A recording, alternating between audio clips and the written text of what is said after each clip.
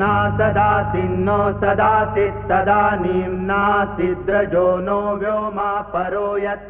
किमावरीवः कुह, कस्य शर्मन्नम्भः किमासीत् गहनं गभीरं सृष्टि से पहले सत नहीं था, असत भी नहीं, अंतरिक्ष भी नहीं, आकाश भी नहीं था।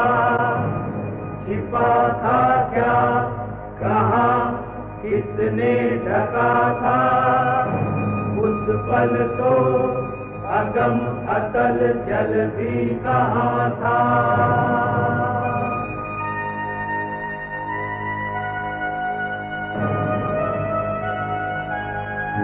सृष्टि का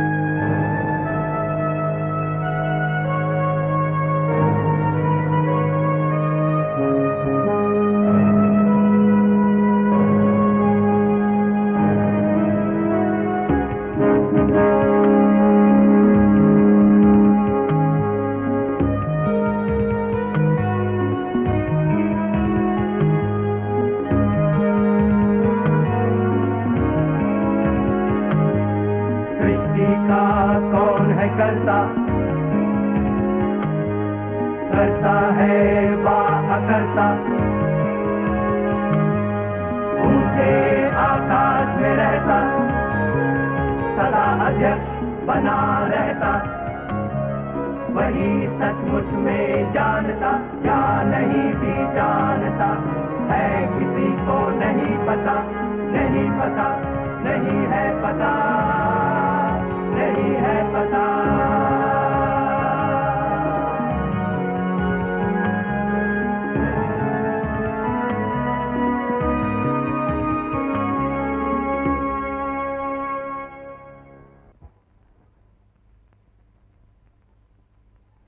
जब आर्य भारत आए, तब एक विकसित संस्कृति पहले से यहाँ मौजूद थी। दक्षिण और शायद उत्तर में भी द्रविड़ सभ्यता फल फूल रही थी। दक्षिण की भाषाएँ संस्कृत से नहीं निकली, लेकिन वो बहुत पुरानी हैं और उनमें साहित्य का अनमोल जखीरा पाया जाता है।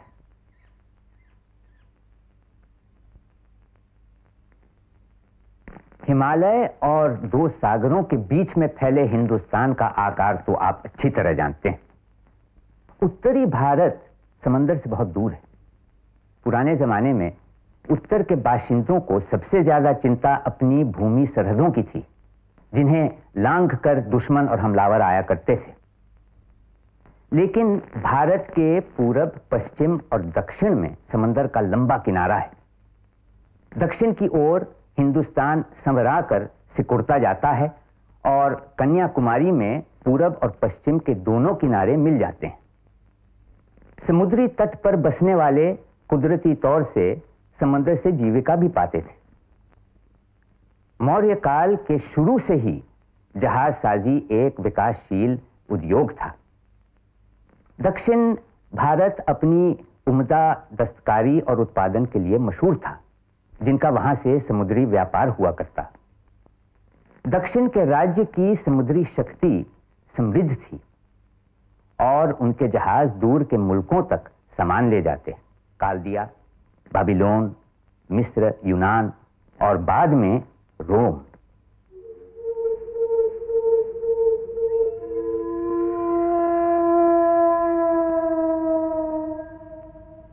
जिस समय उत्तर भारत में बड़े साम्राज्यों की नींव पड़ रही थी, तब तक दक्षिण भारत में पाषाण युग ही चल रहा था।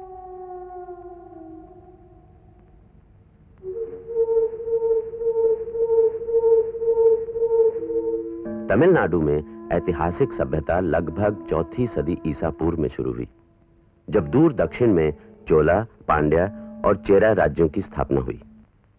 उस दौर में दक्षिण भारतीय कबीले सत्ता पर केंद्रित राज्यों में तब्दील हो रहे थे।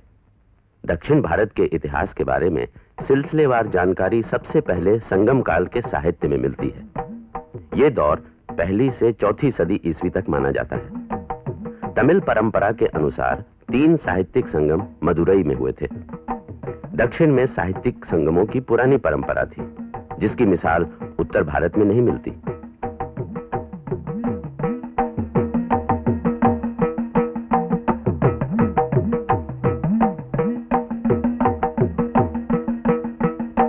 तमिल संगम के कवि लोक साहित्य के काफ़ी करीब हैं। दरबारी संस्कृत साहित्य से बिल्कुल अलग। किसान का जीवन, गाँव का माहौल शहर का भीड़ भड़का और युद्ध की बेरहमी। इन सब का अनुभव करके ही ये कविताएँ लिखी गई हैं।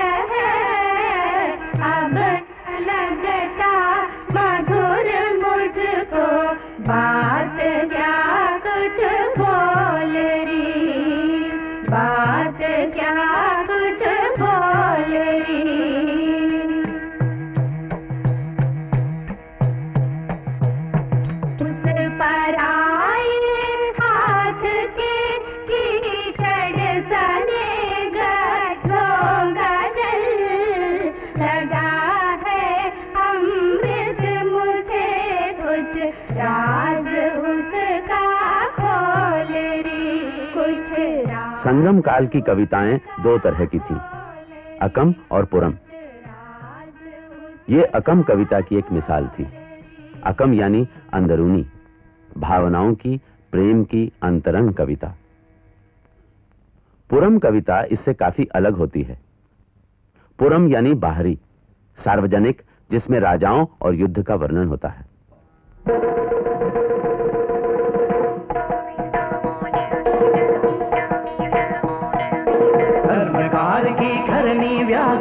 प्रसव वेदना से। सीने को अदबान चला था सो जाते जी से। चर्मकार की घरनी व्याकुल प्रसव वेदना से। सीने को अदबान चला था सो जाते जी से।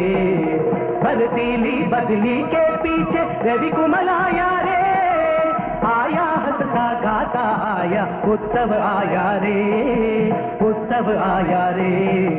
बरसीली बदली के पीछे रवि कुमल आया रे। आया हंसता गाता आया, उत्सव आया रे, उत्सव आया रे। हर पल बिजली, वैसी राजा की तलवार। राज जीतने आया, दुश्मन भाग रहा है हार। गिरती हर पल बिजली, वैसी राजा की तलवार। राज जीतने आया, दुश्मन भाग रहा है हार। कमल हार ने राजा का सीना चमकाया रे। आया हंसता, गाता आया, उत्सव आया रे। उत्सव आया पुरानी परंपरा के मुताबिक दक्षिण भारत जाने वाले पहले मनुष्य ऋषि अगस्त्य थे, जो आर्य धर्म और संस्कृति अपने साथ लेकर गए। इससे पहले जब आर्यों का भारत में आगमन हुआ तो वो द्रविड़ संस्कृति में से काफ़ी कुछ अपना चुके थे। इस तरह द्रविड़ और आर्य जातियों के आपसी आदान प्रदान से ही भारत की मिली जुली सभ्यता का विकास हुआ। छठी सदी ईस्वी तक तमिल प्रदेश पर संस्कृत का काफ़ी असर हो चुका था और वहाँ की काव्य शैली तेज़ी से बदलने लगी। तमिल कवि लंबी कविताएँ लिखने लगे, जिन्हें संस्कृत नाम काव्य से जाना गया। इनमें सबसे प्रसिद्ध और प्राचीन महाकाव्य है शिलपद्दिकारम यानी सुहाग के नुपुर। साहित्यिक शैली में रचा यह महाकाव्य फिर भी आम जीवन के काफ़ी करीब है। ये माना जाता है कि ये रचना पहली दूसरी शताब्दी में इलंगो अडिगल ने रची थी, जो चेरा राजा शेंगुट्टू वन के भाई थे। मगर हो सकता है कि इसे कई सदियों बाद लिखा गया।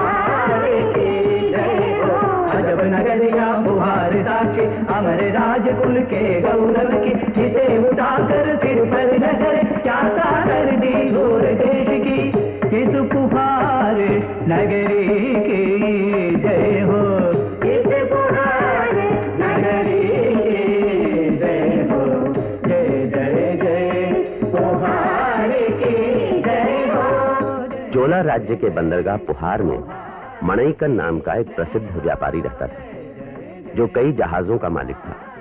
उसकी बेटी कन्नगी बहुत खूबसूरत थी। पुहार में ही माँ शट्टुवन नामक एक धनी व्यापारी भी था। उसका बेटा कोवलन एक सोलह वर्षीय युवक था। कोवलन और कन्नगी के माता पिता ने उन्हें विवाह सूत्र में बांधने की ठानी।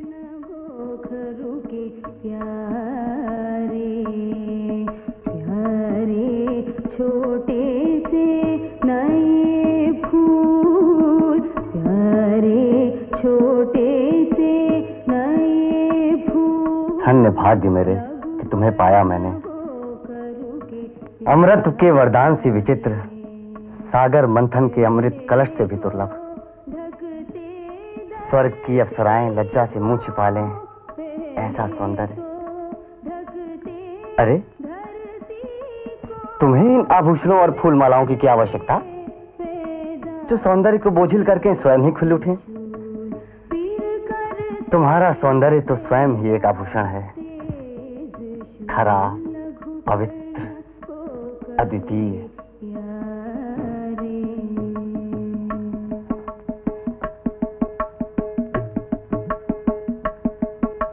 कितनी शांति है बाहर भी मन में भी। हाँ बहुत अच्छा लग रहा है। कितना तुम सुखी तो हो। है आपके सुख में मेरा सुख है। मैं बहुत सुखी हूँ। उल्टी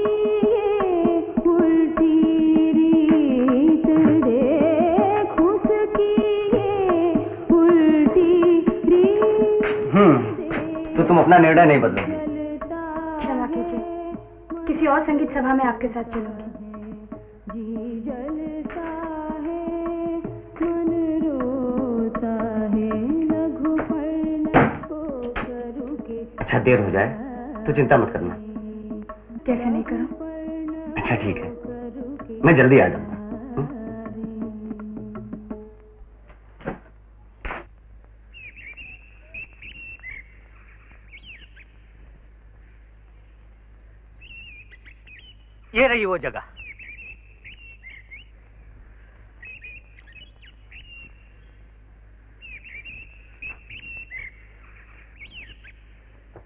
ठीक है तुम जल्दी तैयार करो। ज़्यादा समय नहीं है। आप चिंता न करें। ऐसा सुंदर मंच बनाऊँगा कि माधवी का रूप चंद्रमा जैसे दमक उठेगा। ध्यान रहे महाराज पधारेंगे। धन की चिंता ना करो जितना चाहे लगाओ। लेकिन मंच ऐसा बनना चाहिए कि आप बेफिक्र रहें। मैं मंच उत्तम और शास्त्रों के अनुसार बनाऊँगा। आरंभ करो। हे भगवान सब शुभ मंगल ही हो। सब शुभ मंगल ही होगा। सबको पता है माधवी इस नगर की सर्वश्रेष्ठ नर्तकी है और सुंदरता में भी किसी से कम नहीं।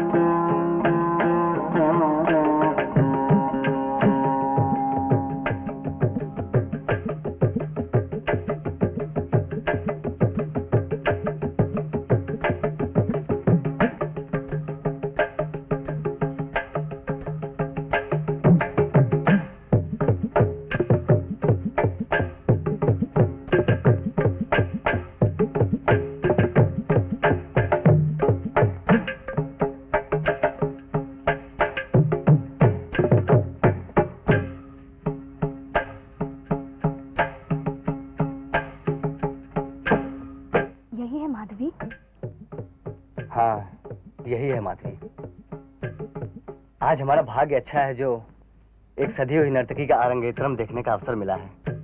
जहाँ आप जाते हैं वहाँ इतनी अच्छी नाचने वाली नहीं होती क्या? सुना है पुहार भर में सबसे अच्छी नर्तकी है।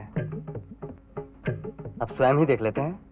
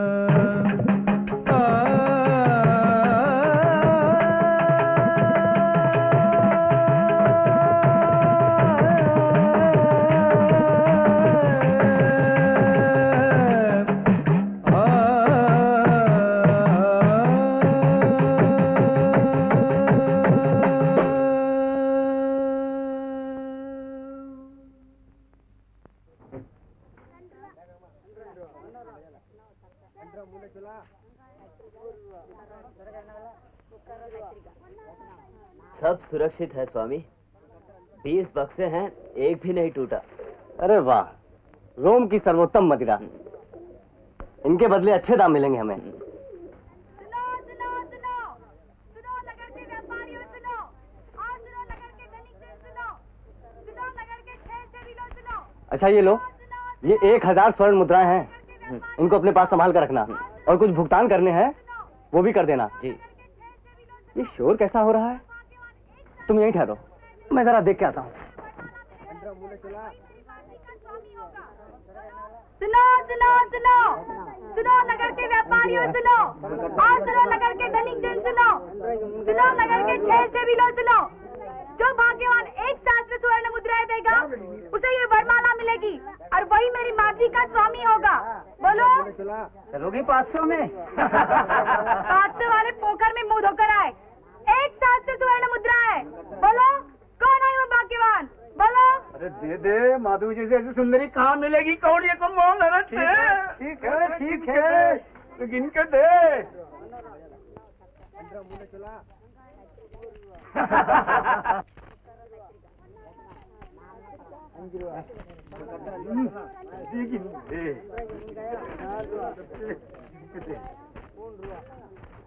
लाओ इधर लाओ इन्हें।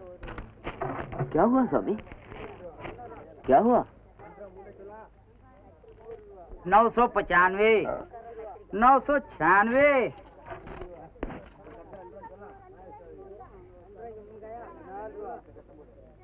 नौ सौ सत्यानवे और नौ सौ अट्ठानवे। ये रही एक सहस्त्र मुद्राएँ।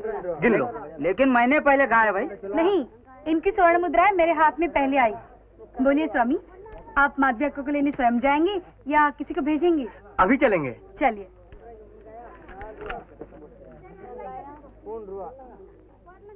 अंधिया छाया।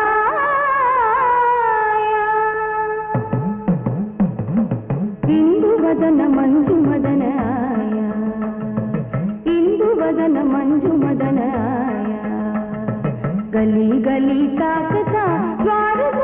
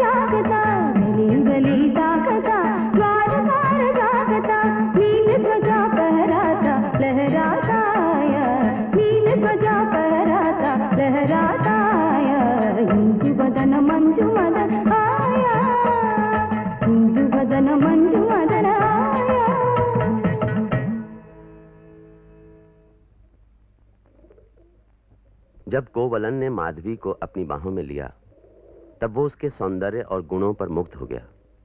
उसे अपूर्व आनंद का अनुभव हुआ और वो बाकी सब कुछ भूल गया, अपनी पत्नी, अपने घर बार को भी।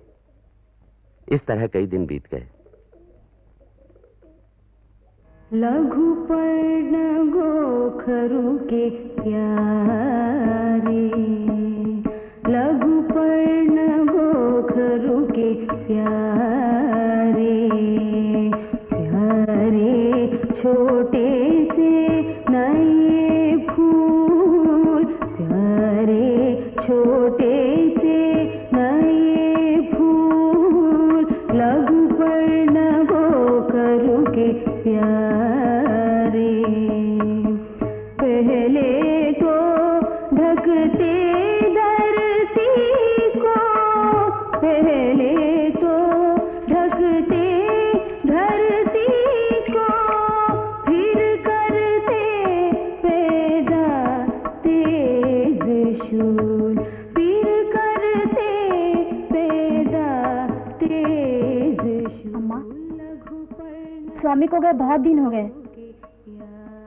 आपका संदेश लेकर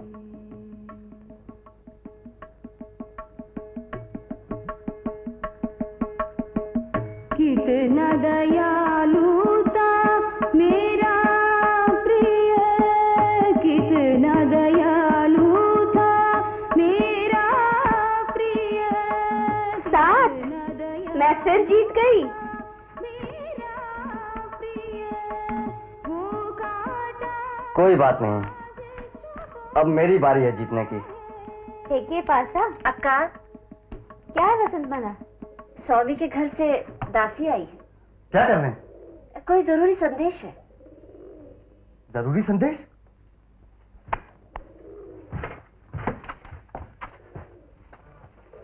यहाँ क्यों आई? अम्मा ने कहा है बहुत दिनों से आप घर नहीं आए। आज आएँगे क्या? बस। जी स्वामी। ठीक है। सुन लिया जाओ। अम्मा से क्या कहूँ? आप आएँगे? नहीं।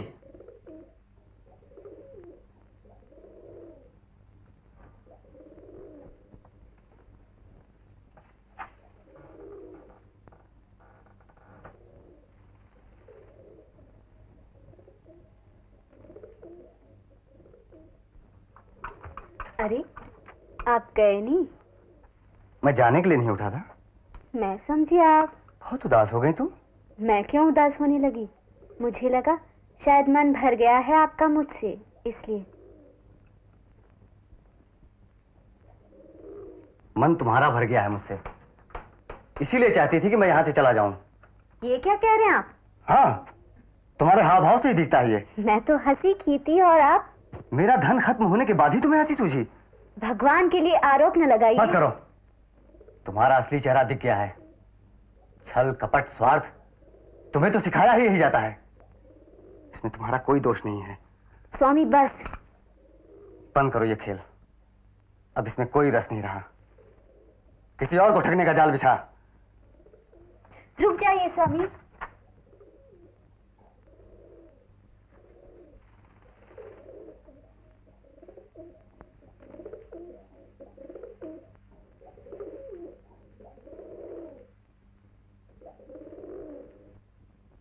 सुनो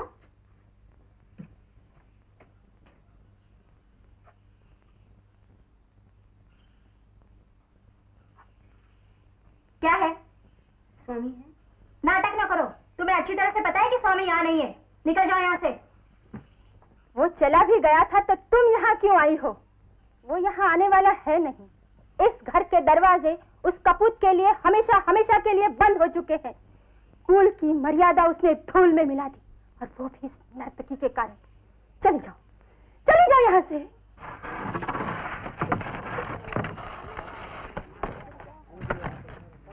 बड़ा कम स्वामी। कई महीनों से व्यापार ठप है।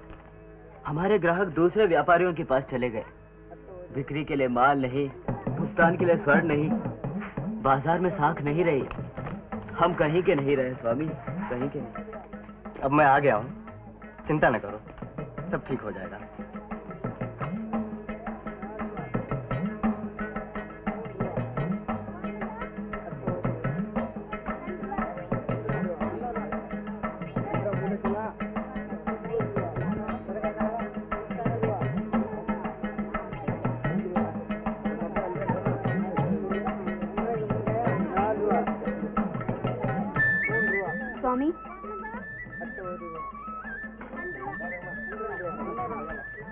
अक्का ने वापस बुलाया है।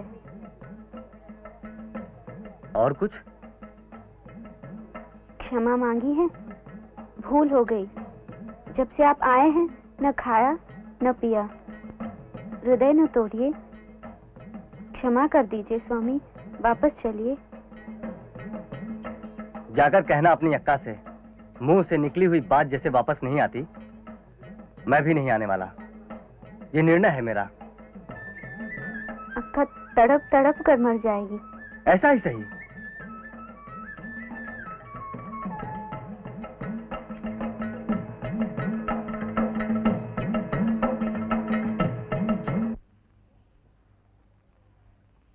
कन्नगी। कन्नगी। कन्नगी। देवंडी अम्मा मैंने सुना है तुम्हारे बारे में। तुम फ़िक्र ना करो। मेरे स्वामी भी मुझे छोड़कर तीर्थ यात्रा को चल दिए पर तुम्हारे स्वामी तो बुहार में ही हैं। आ जाएँगे। तुम्हारी बात सही हो। परंतु मुझे रात को तरह तरह के डरावने सपने आते हैं। कल रात को ही मैंने देखा कि मैं और मेरे स्वामी कहीं दूसरे नगर में जा रहे हैं। वहाँ पर कुछ लोगों ने मेरे स्वामी पर आरोप लगा दिया। और उन्हें झूठे अपराध में फंसा दिया। तभी मैंने देवी का रूप धारण कर लिया और क्रोध में राजा और नगर को सर्वनाश का श्राप दे दिया। लगता है पिछले जन्म में कोई मनौती अधूरी रह गई। पूर्व जन्म के कर्मों का फल है ये। मुक्ति का है एक उपाय। उस पवित्र स्थान के दर्शन करो, जहाँ कावेरी सागर को जा मिलती है। वहाँ दो ताल हैं, सूर्य ताल और चंद्र ताल। उन दोनों तालों में जाकर स्नान करो और मंदिर में जाकर पूजा पाठ करो। सब ठीक हो जाएगा। ब्याहता स्त्री के लिए उसका पति ही उसका परमेश्वर होता है। पूजा के लिए उसे किसी मंदिर में जाने की आवश्यकता नहीं है।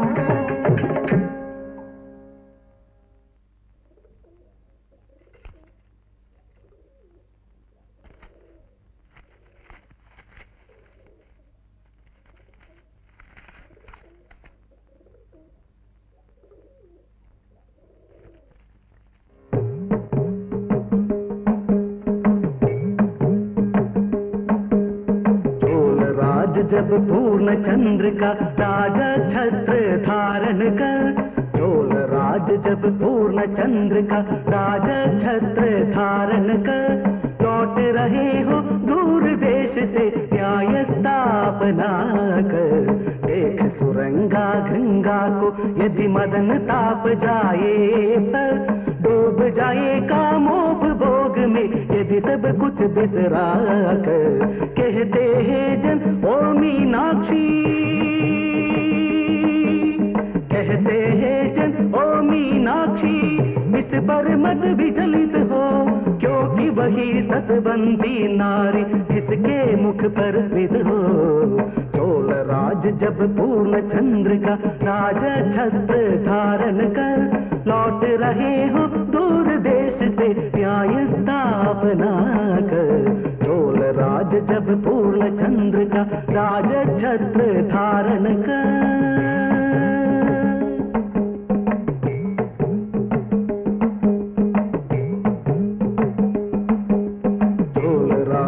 राज धवल पुष्प का राजा छत्र धारण कर। चोल राज जब धवल पुष्प का राजा छत्र धारण कर।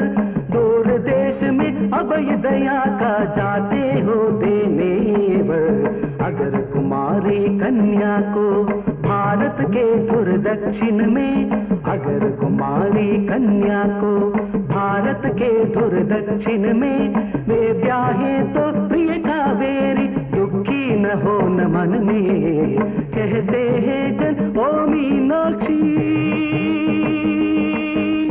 कहते हैं जन ओ मीनाक्षी इस पर मत विचलित हो, क्योंकि वही सतबंदी नारी जिसके मुख पर स्मित हो।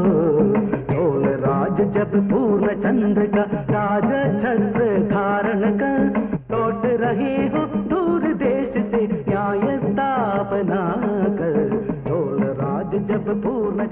राज शायद कोई दूसरी स्त्री भी है। ऐसा नहीं हो सकता, अक्का।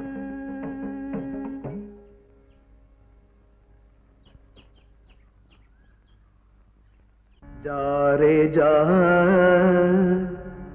जामति मंद हंस, उस नारी संग तेरी बराबरी कैसी? तू चाल नहीं, चल पाएगा उसकी जैसी।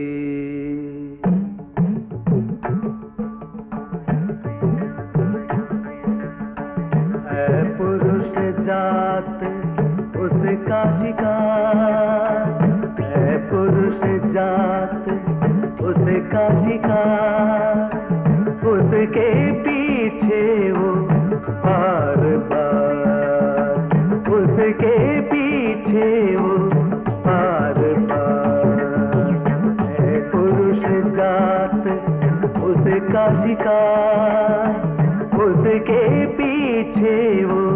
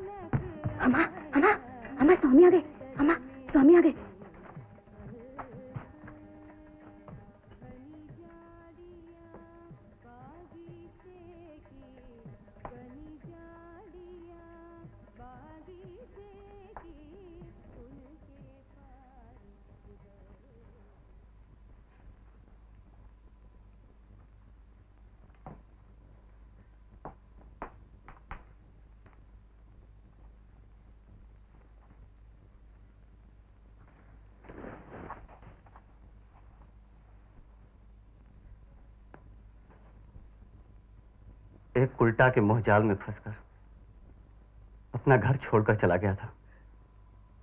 अब तो अपने घर वापस आ गया ना स्वामी? हाँ। पुरखों की सारी धन संपदा लुटाने के बाद दारिद्र्य लेकर लौटा हूँ मैं। अब मेरे पास कुछ भी नहीं है।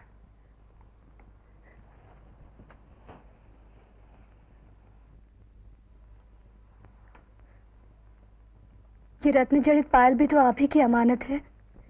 इसे स्वीकार कीजिए। मैं तुम जैसी पतिव्रता स्त्री के योग्य नहीं और अब पुहार में रहने लायक भी नहीं रहा। किसी और नगर जाऊँगा और वो धन संपत्ति फिर से वापस लाऊँगा जो मैंने लुटाई है।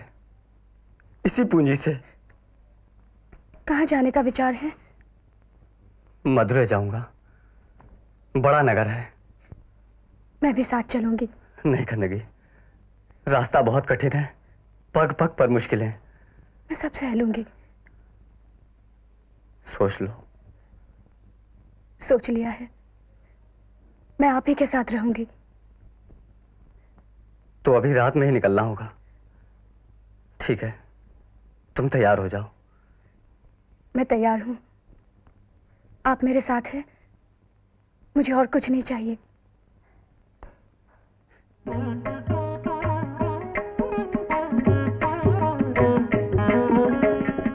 हुआ दखलाता सपना पतिव्रता साध्वी का।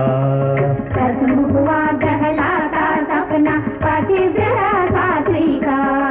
शब्द निरर्थक श्याम लोचन मदिर माधवी का। शब्द निरर्थक अंधकार को काटे सूरज इससे पहले दोनों। इससे पहले दोनों। निकल दिए विश्वास सजो ये आदेश नियति का। आदेश नियति का। आदेश नियति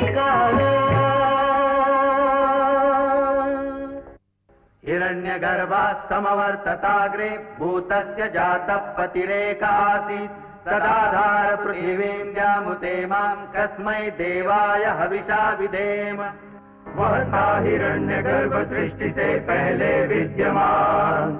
वही तो सारे भूत जात का स्वामी महान। जो है अस्तित्वमान धरती, आसमान धारण कर।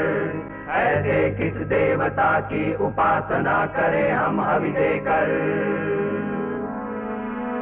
जिसके बल पर तेजोमय है अंबर, पृथ्वी हरी भरी स्थापित सिर, स्वर्ग और सूरज भी स्थिर।